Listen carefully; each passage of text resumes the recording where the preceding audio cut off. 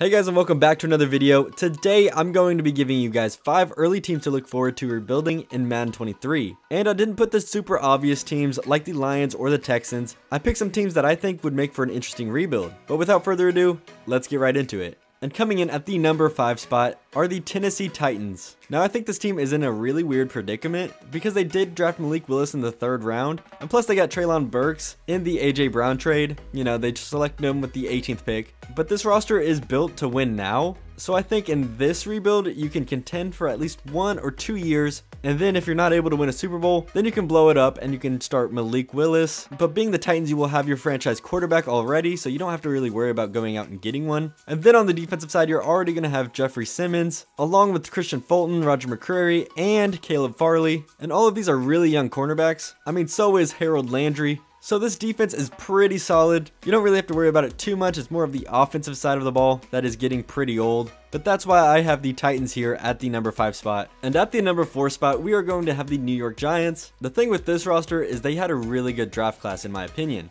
and you'll have to find out on whether you will keep Daniel Jones or get another quarterback. But this offensive line has really improved, with the addition of Evan Neal and Mark Glowinski, and you will also have to make another big decision on Kadarius Toney if you want to keep it realistic then you will most likely have to trade him. But if not, then he'll be a fun player to play with. But then we go over to the defensive side, and the Giants actually have a really solid defense. The linebacker core is a little bit iffy, but they did draft Kayvon Thibodeaux, who will be a good edge rusher for them. And then they also have Dexter Lawrence and Leonard Williams, who are two really solid defensive linemen in the front. The secondary is also pretty solid. It's not the best thing ever, but it's not the worst thing ever. You'll have Xavier McKinney at the safety position, and also Julian Love at the other. And then you'll also have to make another big decision on James Bradberry because realistically he does want to get traded. So you'll always have to keep that in the back of your mind, whether you're playing realistically or not. But yeah, that's why I think that the Giants are a really interesting team to rebuild and they should be a lot of fun with the rookies. Now coming in as our number 3 team, it'll have to be the Chicago Bears. And look, with the Bears, you already have a quarterback in Justin Fields, so all you have to do is just build around him, and especially starting with the offensive line. I mean, they did draft left tackle Teven Jenkins last year in the second round,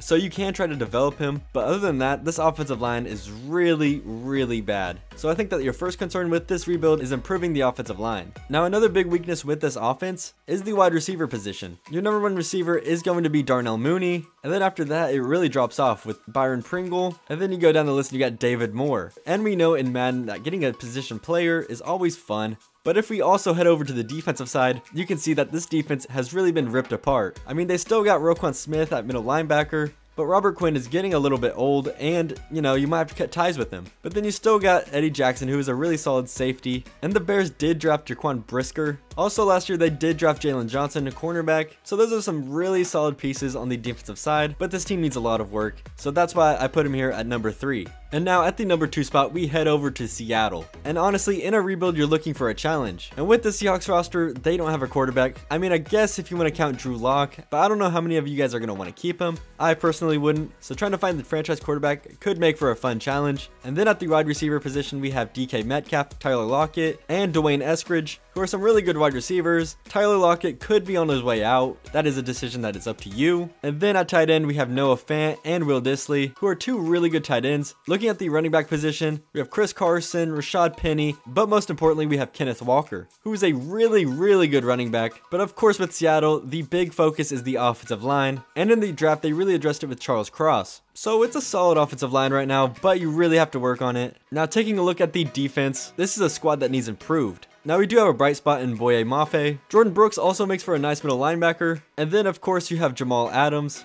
But the cornerback position could use another guy and the linebackers need some work. Also addressing the defensive line wouldn't hurt, but Seattle should be a really good team to rebuild. And coming in at the number one spot are the Atlanta Falcons. And talking about interesting teams, this is the most interesting out of all of them. Along with the lack of good players, you're also going to have to deal with the cap issues, but let's forget about that for right now. And looking at the quarterback position, they did draft Desmond Ridder. So maybe you could start Marcus Mariota for a couple games and then give the rookie Desmond Ridder a shot. Or you could sit behind Mariota for a year while you gather talent. The running back position is okay for right now. I mean, you got Cordarrelle Patterson, and Damien Williams. But looking at the wide receiver position, you have Drake London, who was the 8th pick in this year's draft, and he's a 6'5 beast, so he should be fun to play with. And then you also have another big receiver in Auden Tate. Then looking at the tight end position, obviously from last year's draft, there is Kyle Pitts, who actually had a really good rookie season for a tight end. This offensive line does need a little bit of work. As you can see, the offensive line is kind of the theme of the video. Now, if we head over to the defensive side,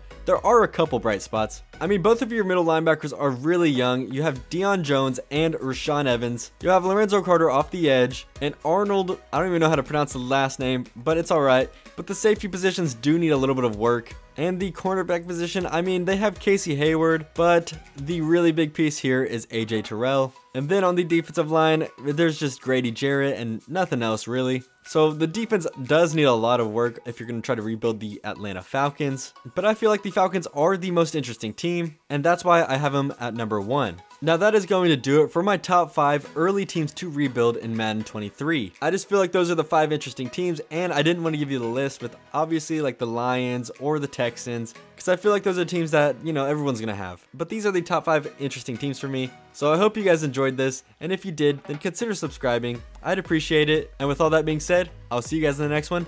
Peace.